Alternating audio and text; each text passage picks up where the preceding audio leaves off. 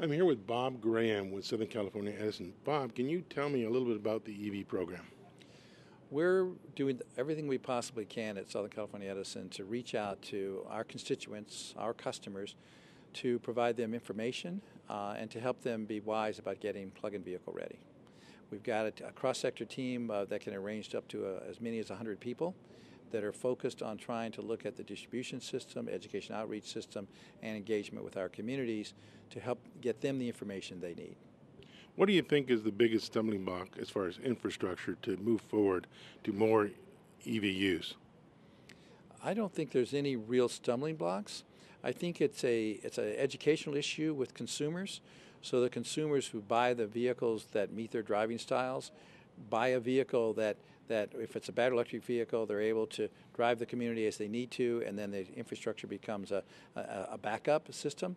Um, I think it's really more of an education. If people are buying the correct vehicle, I don't think there's any issues with plug-in vehicles, and I don't think there's any real issues with infrastructure. It's important to have the right level of infrastructure to support the market, but it's also important not to overbuild the infrastructure as well. Um, what what is Southern California doing actively to educate not only the consumer, but say businesses regarding EV vehicles? We have a website that we've created.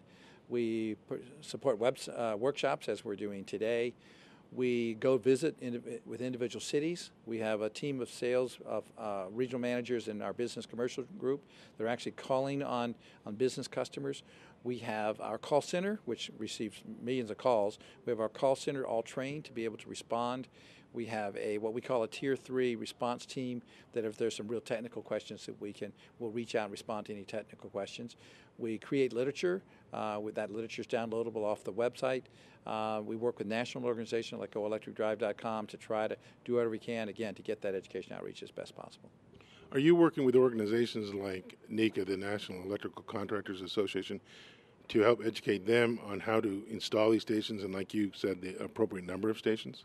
Yeah, actually, that we are. In fact, we have worked with the Department of Energy and the Clean Cities organization that's as part of the DOE to develop with NECA an, an actual training video. Um, and in fact, I'm in the training video. So yes, we are, and we work with the, the local ICC chapters.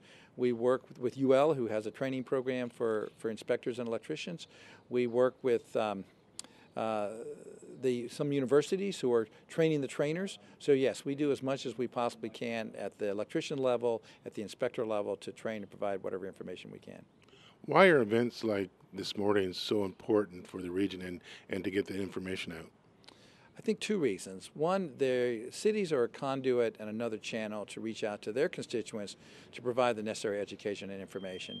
And number two, cities are going to be called upon to provide the, an appropriate level of infrastructure. And it's important for them to think through what they need, especially in tough economic times, to properly service their accounts. But bottom line, the most important is the ability for the cities to, to participate in the education outreach because we have a long way to go to move people down this education path.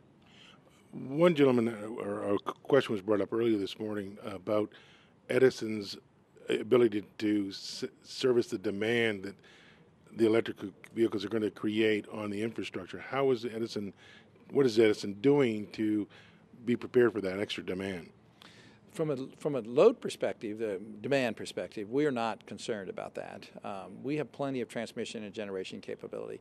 We are concerned about certain points in the distribution system where we see cars coming into onto certain circuits. So we are carefully evaluating those circuit where those circuits are, as we would with any new load, and being and moving to make sure that those circuits are upgraded to support this. Because we are now linking with the auto industry, and we're, we're very very concerned about having customer satisfaction. So and we also want the grid to remain reliable. But this isn't rocket science. We've done this before.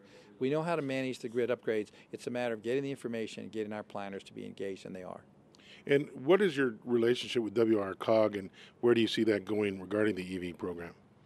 There, and WRCOG is an important component of a regional co- of the regional coalitions that are trying to make sure that the the region is prepared uh, for electric vehicles. Cars travel all over the region, so it, there's no one single isolated location. So our effort with the with the COG is the fact I heard earlier today. There's this is a very progressive environmental community in this area. So bottom line is there will be a lot of plug-in vehicles in this region. We want to work with them and them with us and from a regional planning perspective to make sure that we prepare the region to get ready. And they're part of that education outreach and they're part of that regional planning effort.